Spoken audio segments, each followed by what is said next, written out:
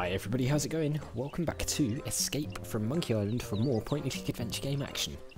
We are right back where we left off on Lucre Island, about to carry on trying to put together this homemade perfume that we've got right here to smell like the guy who framed us, uh, Pegnose Pete. Um, I think we're pretty much done for this area now, to be honest with you. Um, so we are going to head through this little archway here. And we're going to leave Lucre Town and open up the map. So you can see there is a big island similar to Melee and everything. Up there at the top is the swamp, I believe. Yep, where apparently Pegnose Pete lives. And then this way, not that way. This way, I'm not sure what's down here actually. Uh, let's go over there and have a look. I don't know why he's not running. Uh, Foreboding Mansion, okay. Who the hell's house is this? Scary looking bird. That watchbird gives me the heebie-jeebies. Uh, scary looking That fountain. fountain gives me the heebie-jeebies. Everything here gives him the heebie-jeebies. Um, can we enter it? Hey, Can. who are you? And what are you doing in my house? Oh, it's Ozzie's house. I'm Guybrush Threepwood, Mighty Pirate. I'm Guybrush Threepwood, Zillionaire. Um, the love machine of Melee Island. I'm Guybrush Threepwood, the love machine of Melee Island. Oh, the Don't voice. make me laugh. You're just another maggoty pirate. My I'm name is Ozzie. Ozzie Mandrill. that name sounds familiar. Uh, aren't you a forgotten member of the famous country western singing clan? You're master of the pan flute, right? Aren't you the one who was supposed to bring balance to the force? Weren't you the one who was supposed to bring balance to the force? Don't play the Oh. gink with me, Threepwood. Who's playing? Well then, allow me to illuminate the dingy corners of your mind. Come on then. Ozzie Mandrill is a businessman, a capitalist, a real estate developer. I'm also the future king of the Caribbean. Really? Hey, you're the guy who's trying to buy out the scum bar. The scum bar? That's just the tip of the aardvark. Tip I'm gonna the buy aardvark. the whole Caribbean. uh, why are you buying up all the land in the Caribbean? Why are you buying up all the land in the Caribbean? Because I'm a man with a vision. You too? What are yours like? I see a Caribbean freed from the chaotic plundering of grog-swilling pirates. A Caribbean made safe for the orderly consumerism of family-oriented themed restaurants and resorts. A Caribbean scrubbed clean of filth. A Caribbean you'd be proud to take home to your mother. Gee, mine are mostly about ice cream. Okay, and how do all my pirate friends fit into your capitalist utopia? And how do all my pirate friends fit into your capitalist utopia? Ah, they'll be retrained. Retrained? Yes, the service-based economies of tomorrow's Caribbean will need legions of waiters, janitors, maids, and dishwashers. Sounds crap. What about pirates who don't want to be waiters, janitors, and dishwashers? But what about pirates who don't want to be waiters, janitors, and dishwashers? what makes you think they'll have a choice? Can't force them. Okay, and how do the dozens of pirate support industries fit into your scheme? And how do the dozens of pirate support industries fit into your scheme? They'll be torn down, of course. No more will these islands be cursed with a blight of run-down watering holes, murky voodoo shops, and disease-ridden houses of ill repute. Instead, our streets will be decorated with classy art houses, whimsical theme restaurants, and upscale knick-knack shops. Sounds rubbish. But what about the stores that won't sell out? But what about the stores that won't sell out? Ah, they always sell out, eventually. Hmm. What about the children? But what about the children? what about them? I don't know. Just thought I'd ask. I'm tired of discussing your warped dreams. I'm tired of discussing your warped dreams. And I'm tired of discussing them. Okay, what's your beef with pirates anyway? What's your beef with pirates? Well, for one thing, pirates smell. The only thing that smells worse than a pirate is two pirates. It's enough to make a man park a tiger on the rug. Uh, yeah, what? right. Uh, okay, what's with all the dead animals? What's with all the dead animals? I like having them around. They remind me of where I came from. Burbank? Australia, you ninny. Oh, Okay, um, my navigator tells me that you're pretty good with an insult. My navigator tells me that you're pretty good with an insult. Pretty good. Listen, Kitty Wink, I'll have you know that my insults have finished off over 500 hostile takeovers. There isn't a man alive or dead who can withstand the might of my withering barbs. I bet I can beat you. Oh, really? And what stakes do you propose? Uh, if I win, you have to tell me all your secret evil plans. If I win, you have to give me a million pieces of eight. If I win, you have to do the chicken dance in the middle of town. Let's make him do the chicken dance. If I win, you have to do the chicken dance in the middle of town. Fine. And if I win, you have to leave my house. Agreed. So, what form of insult game shall we play? Let's stick to the basics, shall we?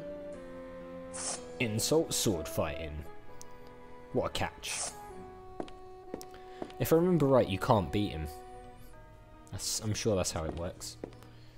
But it's just a bit of fun. Oh, Bit of a throwback to the secret of Oh, Monkey that Island. so cliche. Okay. This is the end for you, you gutter crawling cur. this is the end for you, you gutter crawling cur. I've got a little tip for you. Get the point? When I'm done with you, you'll wish you had Barcoo rot. What the hell? Oh yeah, that's that's it. You can't beat him because he uses Australian insults. Well, didgeridoo to you too. Uh, I have no idea what you just said. Yeah, I feel strangely insulted. I have no idea what you just said, yet I feel strangely insulted. You smell worse than a dunny budgie.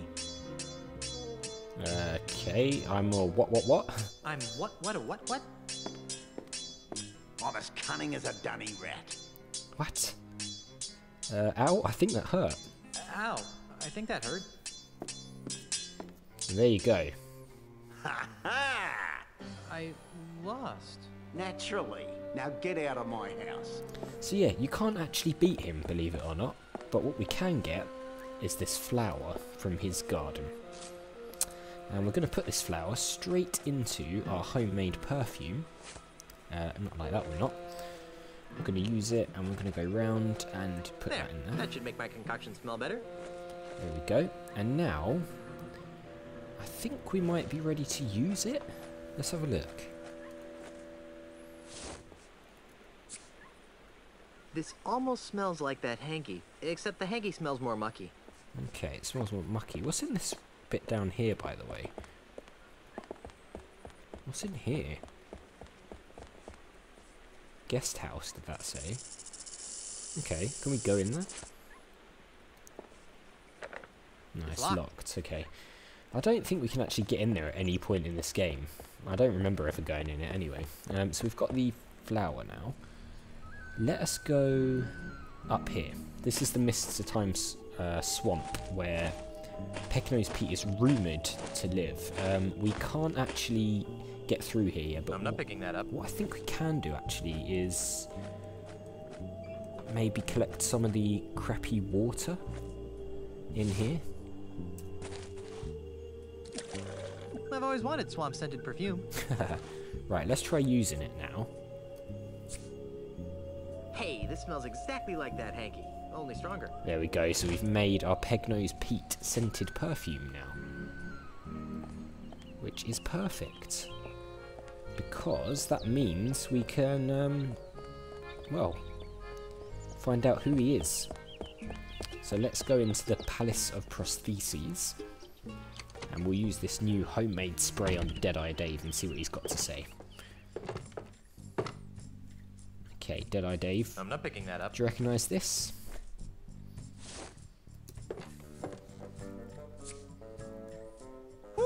That's an all too familiar smell. Hey. Guess I can't complain though, since Zexophilia J Hangtime is my best customer. Zixophilia J. Hangtime. The man Zexophilia regularly J. buys Hangtime. prosthetic noses from me. Really? He's my, uh, really good friend. Yeah. I lost track of him and, uh, missed him so much that I made a little odor potion to remind me of him. Okay, too much information. I have a strict rule of don't ask, don't smell. Okay. Well, anyways, if you know where I can find my, uh, friend, that'd be very helpful. Oh yeah, sure. He lives out past the Mists of Time Marsh. So he You does can't live get there. through there, though, without the directions he gave me, and it's filed away someplace in my filomatic system. Well, let's go get that file. I can't. Pongo, my filing monkey, ran away a while back. He was the only one who knew how to run the filomatic. As a result, I have no idea how to retrieve the map. But if you can figure it out, feel free. The controls are right here. Right, yeah, so we've got to figure this thing out. Uh, I do not remember how to do this, if I'm honest. God, there's uh, some dials here. How the hell do we do this?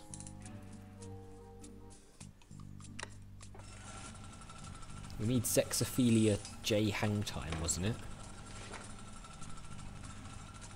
I mean, if this works, this is just a ridiculous fluke. It's some sort of document. The Let's name on look. it says Devon L. Hippospit. Yeah. It has all sorts of useless information, such as prosthetic prescriptions, address, phone number, allergies. Okay, um, can we? It appears to be some sort of high-tech file retrieval system. I wonder if we can ask him about it. Dave? Yes? Uh, have you heard from your filing monkey since he disappeared? Have you heard from your filing monkey since he disappeared? What's he gonna do? Send me a postcard?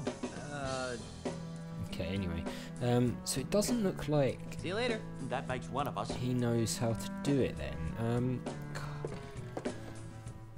okay, I have no idea how we do this. It's going to be a bit of trial and error. Monkey, bananas. Okay, so there's a lot of different. I'm wondering if maybe they represent a certain amount of letters in the alphabet.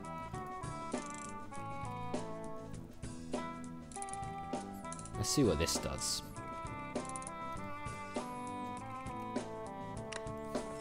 If not, I'll have to have a think about it and see if I can remember what we have to do, because it's quite a complicated puzzle. I don't think there's really any obvious way of figuring it out. The name on it says Norbert F. Jamalama. It has all sorts of useless information, such as prosthetic prescriptions, address, phone number, allergies. Hmm. It's definitely not the right person, is it? Um, maybe it's monkey, monkey, monkey or something. I don't know. Let's just try it. Three-headed monkey. Let's see if that's right.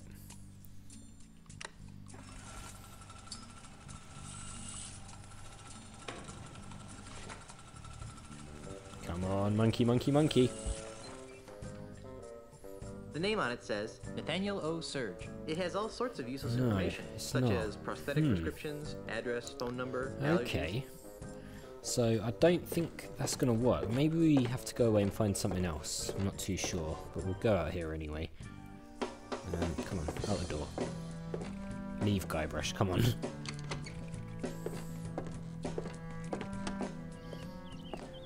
okay, um, I'm sure it's something to do with the letters of the alphabet, but I just cannot remember.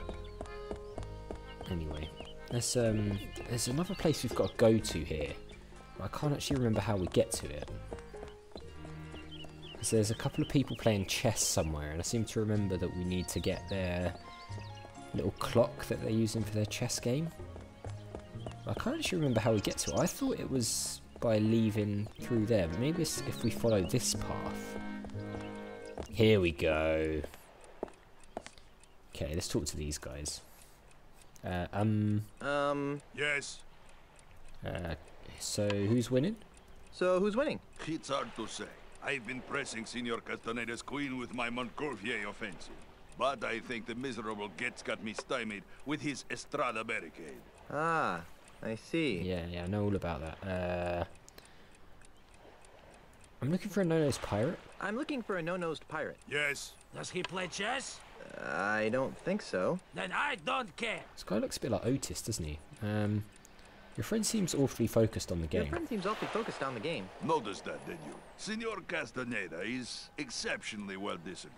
Right, Once okay. he sets his mind to a task, it's nearly impossible to shift his attention. Except, Yes? well, he does carry something of a torch for Brittany, the bank teller. Ah, Interesting. Oh, I just remembered this. So let you get back have to to figure game. out Thank what distracts both of them. I seem to remember, and then use it against them. Uh, excuse me. Excuse me. Yes. Uh, so who's winning? So who's winning? Ah, it's difficult to say.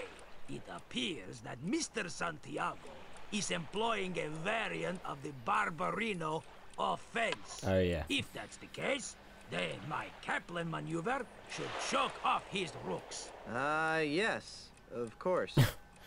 Okay, um... I- I think we have to wait till he makes a move, if I remember right, and then try to say it's Brittany to distract him. hey, isn't that Brittany, the bank teller? Brittany, where? Uh, is that right?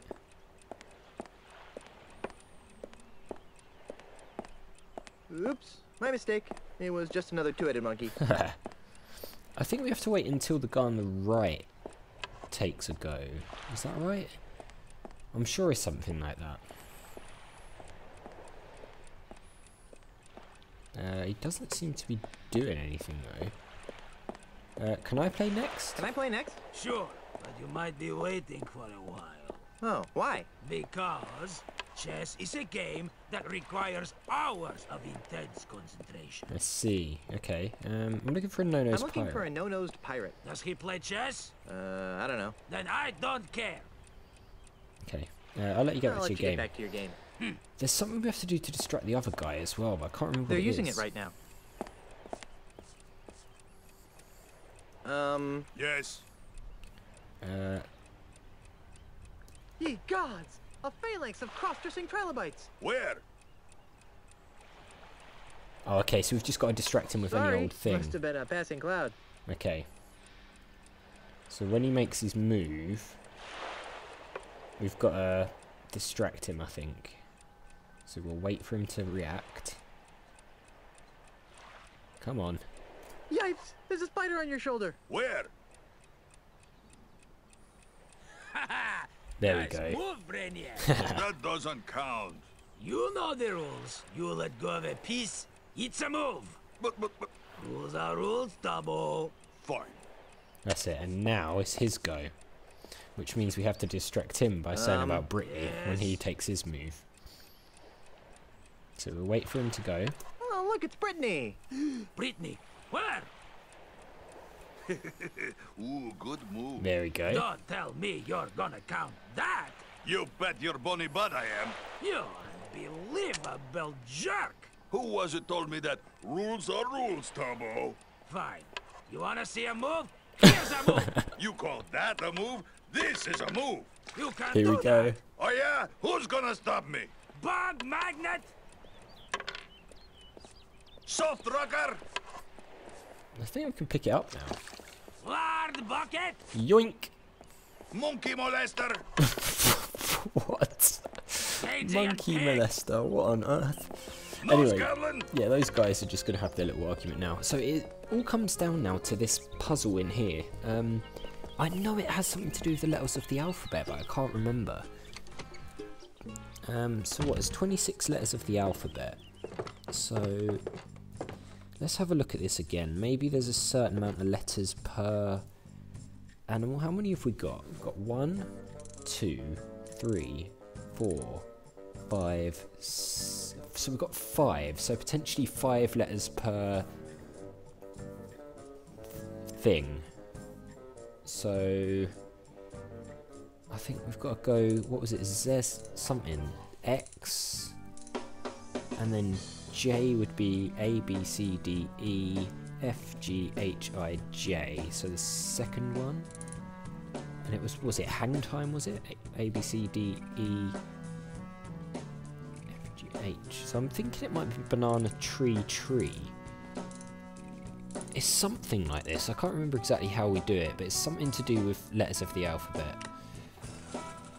Let's see if this works.